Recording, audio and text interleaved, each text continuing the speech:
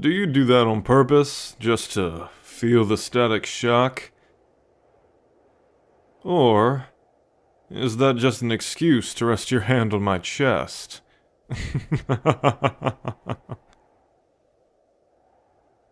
ah, either way, I don't mind.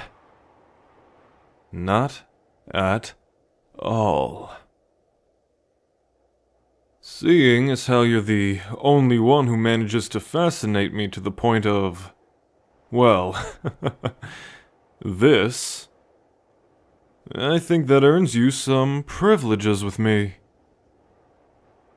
I mean, what kind of benevolent god would I be if I didn't reward my faithful?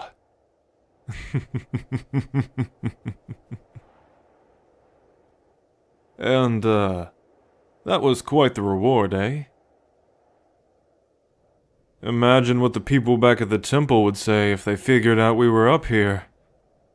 They'd probably give you some funny or crazy nickname or something. I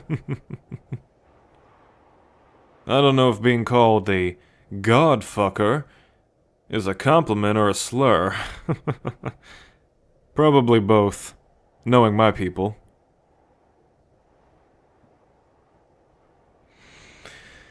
How did we even get here? I'm an eternal being that can summon destruction at my fingertips. And all I want to do now is lay on the top of this mountain. With you in this grassy little plateau. Just to feed my hunger of wanting to be around you. I guess even great deities like myself, and I am very great, can get utterly enamored by this chance perfection of mortal kind.